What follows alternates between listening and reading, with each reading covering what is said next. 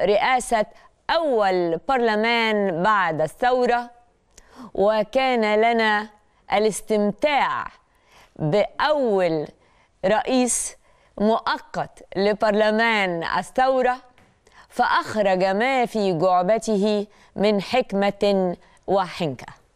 هو الدكتور محمود السقة أستاذ القانون ورئيس الهيئة البرلمانية لحزب الوفد. أهلا وسهلا. سعادة الدكتور سعادة الرئيس. خلاص بقى دلوقتي إحنا مش هنقدر نشيل كلمة أنا الرئيس. لست رئيس سابق أنا رئيس باستمرار. إن شاء الله على طول. طبعا طب ما ترشح نفسك رئيس جمهورية. أقسم بالله الناس يتمنوا هذا. والله كلنا بنتمنى هذا. بطريق الصدفة وخطابي موجه إلى أهل سينا اللي اتصلوا بيا النهارده. أيوة. قال نحن أحد عشر عمدة من سينا أيوه. أبرمنا العقد إنك تدخل وتبقى رئيس جمهورية. أنت فين؟ ومالكش دعوة بالباقي. وكل ما امشي في الطريق يعني ده حاجة أتمنى طبعا.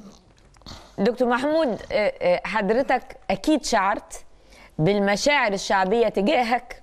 يوم ترأست أول لجنة لبرلمان الثورة آه، اللي إحنا الشعب المصري كان بالنسبة لنا فعلا يوم عيد.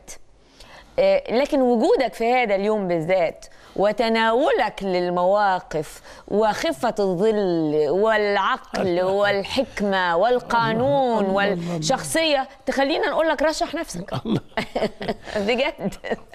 اولا آه، أشكرك على هذا اللقاء طبعا. الله يخليك. وأشكرك على هذا التقديم البليغ الجميل الحلو. الله يخليك. وفي نفس الوقت يعني هي تجربة.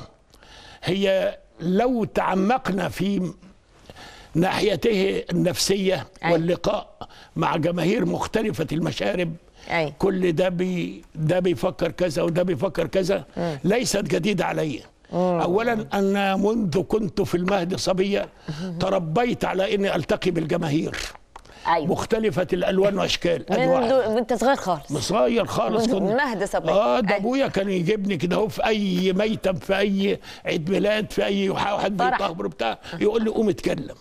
والله العظيم. آه وبعدين حفظت القرآن وأنا برضو من السن وكنت الصغيره بتتكلم. بتكلم في أي موضوع و... و... ودلوقتي مستعد اختاري لي أي موضوع وأنا أتكلم فيه الحمد لله بإتقان. لا أنا هختار لك. موضوعات كتيرة. طيب هنا بقى بقول لحضرتك مخاطبة النماذج التي كانت في ذلك اليوم الخالد.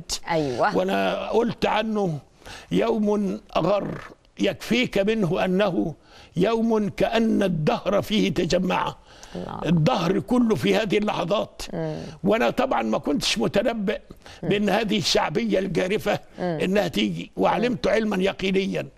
في كلمة موجزة أن ما صدر في القلب من القلب يصل مباشرة إلى القلب.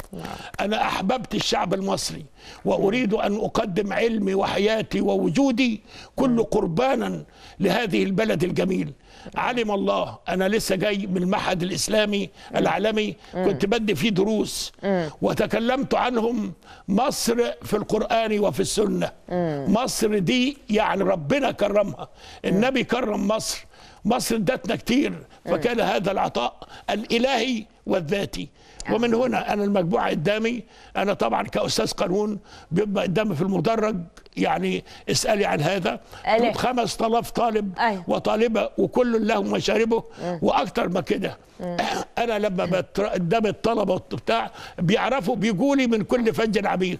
كليه الاقتصاد بتيجي الاداب عشان يسمعوا هذا والحمد لله دي التربية. الامويه آه. وأهم من هذا كله يعني بس آه، إحنا دلوقتي ال 5000 في في ال- في مدرج. المدرج ده آه. الشباب اللي رايحين يتعلموا يستمعوا للأستاذ الفقيه الكبير القانوني لكن يوميها بقى أنت كنائب ومجلس كله نواب منتخبين. ويعني إن كان في جنب منتخبين دي شوية علامات استفهام لكن الغالبية هذا أول برلمان منتخب من الشعب المصري والشعب المصري نزل ووقفنا في الطوابير. أنا شخصيا كنت سعيدة جدا وأنا نازلة أنتخب. فشعورك انت بقى في اللحظة دي كان إيه؟ هو الشعور يعني هو بالظبط ليست التجربه الأولى ما كانتش الأولى. أنا قبل كده دخلت.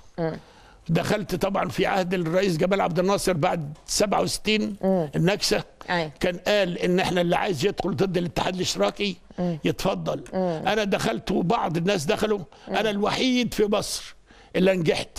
وده آه الحمد لله طبعا. الوحيد في آه، مصر؟ آه طبعا. وممكن أقول لك قصة النجاح أيوة. بس هتاخد وقت كتير. ما تاخد ولا يوم آه لا اتفضل. لا يعني ده تجربة آه. اولا. أيوة. كان الاتحاد الاشتراكي هو الحزب الوحيد هو الكذا هو المسؤول كان يقدر يرشح نفسه. بالظبط. آه.